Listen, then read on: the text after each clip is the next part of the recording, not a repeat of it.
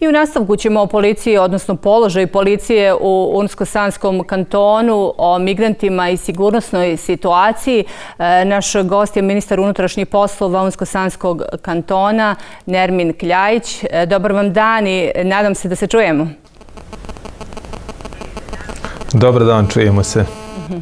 E, evo, e, gospodine Kljajiću, e, migranti odavno nisu udarna tema u Bosni i Hercegovini. Kakva je trenutna sigurnosna situacija u Unsko-Sanskom kantonu s obzirom na česte sukobe migranata?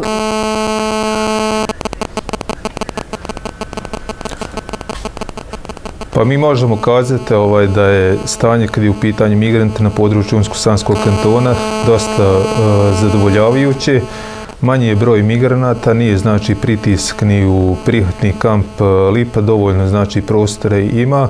Sa poboljšanjem e, vremenskih uslova ovih dana je malo primjetno veći broj migranata da dolazi na području Unsko-Sanskog kantona, ali mi sigurno ovaj možemo e, da budemo znači zadovoljni da se stanje iz 2018. i 2019. neće Eh, ponoviti kad su u pitanju migranti, obzirom da ovo već šesti mjesec iz našeg ranijeg iskustva, iskustva vidjeli smo već od aprila, znači mjeseca u ovim ranijim godinama da je bio pritisk na Unsko-Sanski kanton. Evo mi smo u, u polovini šestog mjeseca i imamo i dalje znači dovoljno smještajne kapacitete. E, zatražen je aktivni zajednički e, zajednički za svih policijskih agencija i nadležnih institucija na izmještanju migranata s ulica u prihvatne centre. E, koliko migranata po vašoj procjeni ima na ulicama, a koliko u prihvatnim centrima Unsko-Sanskog kantona? Pa naša neka procjena sigurno da ima negdje između e, 300 do 500 migranata van prihvatnih centara. Ovaj, primjetno je znači ovih dana da ima i u Bužim, u Velikoj e, Kladuši, po e, gradu Bihaću. Jedan manji dio ovaj, ima i na rubnim područjima grada Cazijena, tako ovaj, da procjenjujemo negdje između 300 i 500 migranata da ima na području Unsko-Sanskog kantona koji u suštini ne žele da idu u prihatni kamp e, Lipa jer e, on je dosta udaljen od e, samog grada Bihaća, oko 40 km, tako da on uvijek žele da budu bliže granice sa Republikom Hrvatskom i da traže svoju šansu da pređu u Evropsku uniju. Jeste li zadovoljni kako država upravlja kampovima?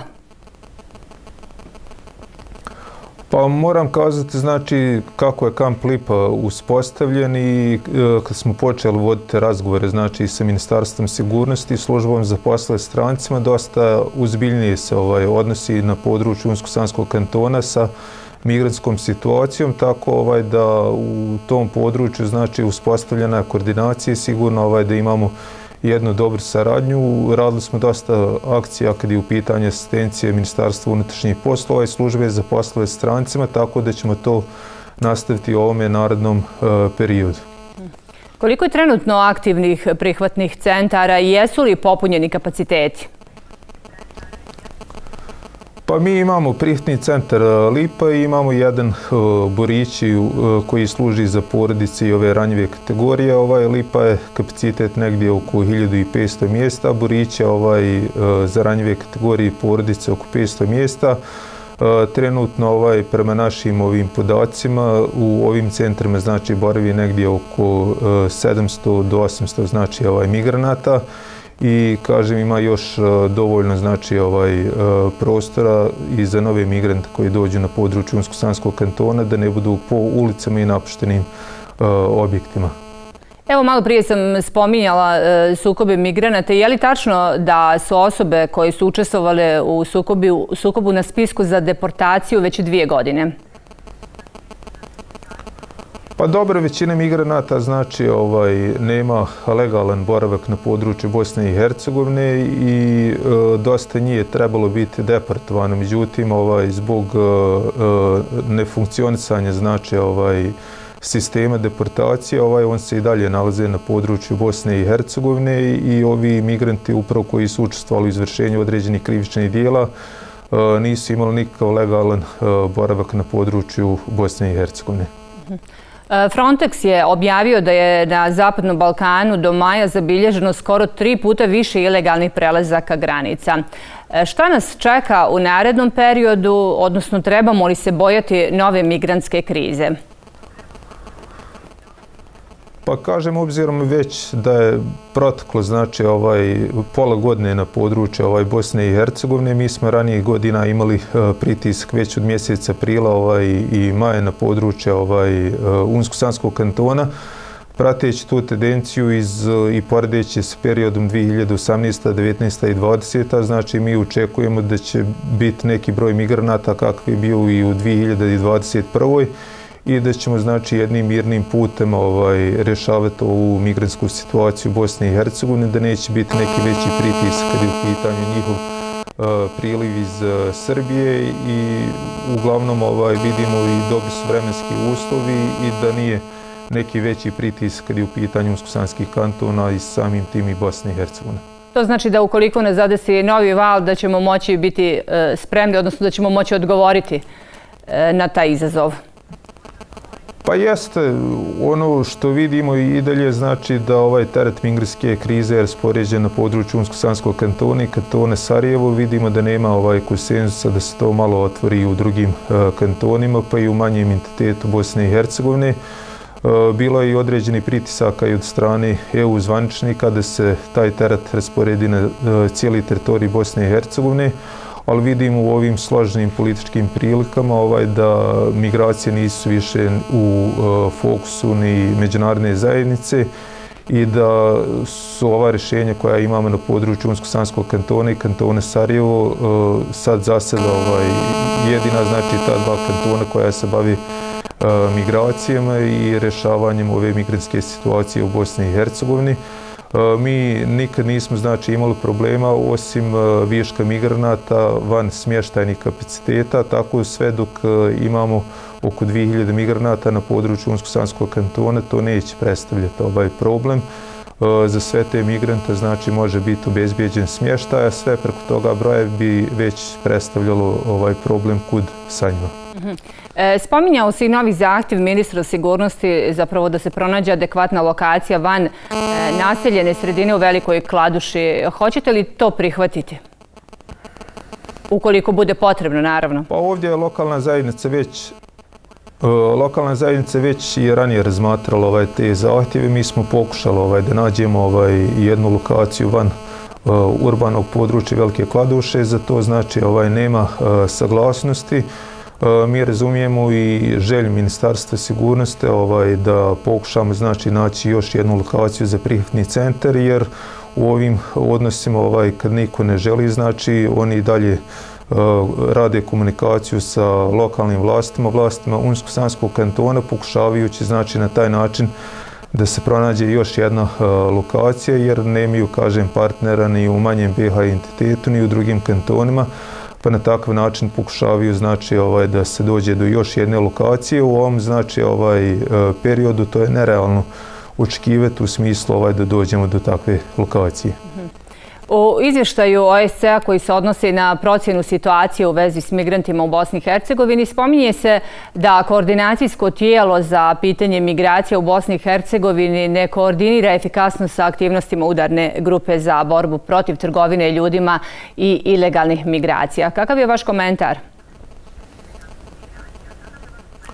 Pa dobro, sigurno da ima i tih slučajeva kad je u pitanju i trgovina ljudima na području Bosne i Hercegovine. Neki su čak e, i procesirane ovaj, od strane tužilaštva Bosne i Hercegovine. To pitanje znači ovaj, e, policijske agencije ovaj, e, prate i ako uče znači da dolazi do tih pojava, prijavljuju se znači nadležnom tužilaštvu i kažem već je bilo u ranijem periodu ovaj, određeni slučajeva gdje su određena lica procesirana kad je u pitanju trgovine ljudima.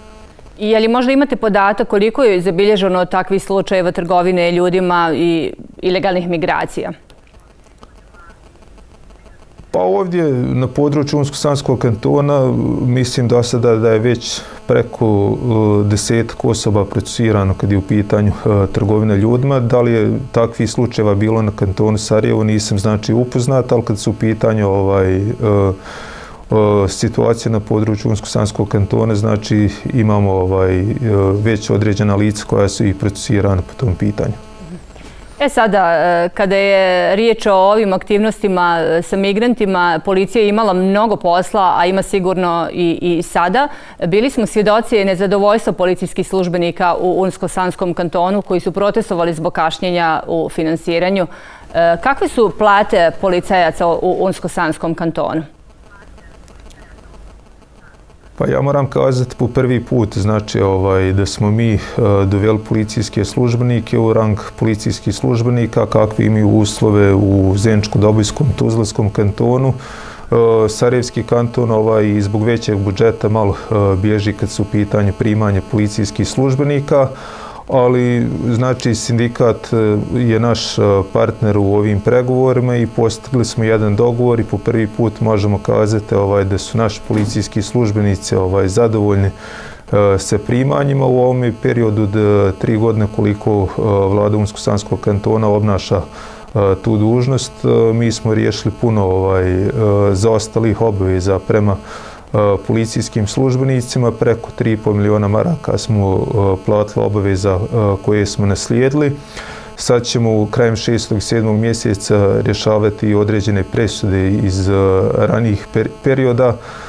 Tako ovaj, da ćemo i to pitanje ovaj, zatvoriti kad je u pitanju Ministarstva unutrašnjih poslova i u narodnom periodu znači ovaj stvarne su realne pretpostavke da oni mogu biti u rangu eh, kažem i drugih kantona koji imaju daleko veći budžet nego Unsko-Sanski kanton eh, poredeći se znači i sa Tuzlanskim kantonom, Zeničko-Dobojskim i vidjet ćemo znači u ovom narodnom periodu da i dovedemo u rang kantone Sarajevo. Mhm. Evo, rekli ste da, se, da trebate rješavati i presude iz ranijih godina. O kakvim presudama se radi i e, da li će i one na neki način, odnosno njihov ishod, uticati na, na punjenje budžeta? I bolju situaciju u MUP-u. Puno ti presuda kad je u pitanju kad je u pitanju upravo policije, znači te presude se većinom odnose na neisplatu jubilarnih e, nagrada iz ranijeg e, perioda. Tako ovaj da to nisu neka velika potraživanja, negdje oko milijon i dvijesta hiljada e, konvertibilnih maraka e, potražuju policijski službenici, tako da ćemo mi to moći već u ovoj godini e, sanirati i ukrenuti se stvaranju materijalno-tehničkih uslova za bolji rad policijskih službenika. Mi ćemo u ovoj godini vršiti nabavku određenog broja i vozila. Ako bude znači ovaj rebalans budžeta, riješćemo također i e, uniforme za policijske službenike, a paralelno s tim i radimo obnovu određenih e, policijskih e, stanica. Evo, govorilo se i o nedostatku policijskih službenika u Unsko-Sanskom kantonu. Kakva je situacija u vezi s tim pitanjem? pa mi smo imali jedan konkurs koji je ovaj eh, objavljen u 11. mjesecu, završili smo konkursnu proceduru eh, od eh, 108 kadeta policajaca koliko smo ovaj planirali primiti na kraju ovaj nakon testa općeg znanja i fizičkih provjera ostalo je ukupno ovaj 70 kandidata koji su zadovoljili uslove javnog konkursa tako da ćemo mi na nekoj od narednih sjednica vlade Unsko-Sanskog kantona donijeti odluku za popunjavanje preostalog broja 38 policijskih službenika i naš e, cilj koji smo i dogovorili s akademijom jeste ovaj da u septembru mjesecu uputimo e, policijske službenike na obuku na akademiju i e, imamo dovoljno vremena znači da završimo da ukupno 108 policijskih službenika pohađa akademiju. Evo imali ste mnogo izazova sa migranskom krizom. Koji su izazovi e, trenutno e, koji stoje pred e, Ministarstvom unutrašnjih poslova Unsko-Sanskog kantona? Pa dobro, mi moramo, znači imali smo i određeni krivični proces, a kad su u pitanju policijski službenici, s tim ovaj, također moramo se ovaj, unutar svojih redova obračunati. E, moramo znači ovaj određen broj policijskih službenika ići u penziju u narodnom periodu, moramo stvoriti pretpostavke za prijem novih e, policijskih službenika. U lošim uslovima rade, ovaj, radimo novu stanicu e, policije u Bužimu, rješavamo imovinsko-pravne odnose kad je u pitanju također izgradnje nove stanice u Boskom Petrovcu i Velikoj Kladuši, tako da je neki zamišljeni cilj u naredne tri godine da dođemo do e, nova tri objekta kad su u pitanju policijski službenici i moramo znači ovaj e, dosta ulagati u policiju, nabavku isto određene specijalističke opreme, e, moramo znači stvarati im e, uslove rada i sigurno ovaj da će i oni biti zadovoljni a i građane ovaj jer ćemo na taj način podići samu sigurnost na području Sanskog kantona.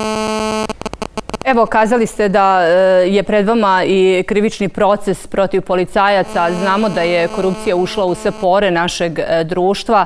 E, je li teško zapravo počistiti vlastite redove? Pa dobro, ovaj, mi ne možemo znači bježati u te e, činjenice i situacije. Postoje znači e, pravilnici, postoje procedure, zakonske odredbe i na takav način ovaj određene e, nadležna tijela će ovaj poduzeti odgovarajuće ovaj mjere i sigurno ovaj da ćemo mi morati se ovaj znači s tim obračunati. Granice i poroznost naših granica uvijek su bile problem. Kakva je situacija e, sada, trenutno zapravo na, na, na graničnim prelazima? E, sa kakvim izazovima se suočava policija? Pa, Pa dobro, ovaj, taj granični pojas kontroliše granična policija Bosne i Hercegovine. Mi smo ranije, znači u 2018. godini imali taj pritisk migranata s pokušajem uh, prelaska ovaj graničnog prelaza uh, Maljevec. E, posle toga, znači, nije bilo incidentni situacija, situacija kad je u pitanju uh, granica ovaj, na području uh, Unsko-Sanskog kantona, tako ovaj, ako bude potrebe, znači, naši policijski službenici će izaći na lice mjesta i u saradnji sa graničnom policijom ovaj, spriječiti ilegalne prelaske i, i na takav način podizeti zakonom propisane mjere. Evo, brižimo se i kraj ovog razgovora. Kažite, kažite nam e, koji su izazovi koji trebate rješavati u narednom periodu i šta je ono s čim se možda trenutno e, policija u Unsko-Sanskom kantonu suočava, treba hitno riješiti? Pa dobro, jedan od izazova koji smo e, već riješili je prijem novih policijskih službenika, znači već u mjesecu septembru 108 policijskih službenika će pohađati e, akademiju, moramo im stvoriti bolje uslove rada kroz izgradnju ovih e, objekata, moramo im nabaviti sredstva za rad i to su znači neki pravici djelovanja kad je u pitanju policija Unsko-Sanskog kantona, najbitnija stvar znači da imamo taj dijalog i sa sindikatima, da su oni e, zadovoljni trenutno ovaj, sa e, svojim primanjima. Ono mi što očekujemo od njih da budu upošteni u obavljanju svojih poslova, da je obavljaju u skladu sa zakonom i da građani znači ovaj prepoznaju to poštenje. Mhm, mhm.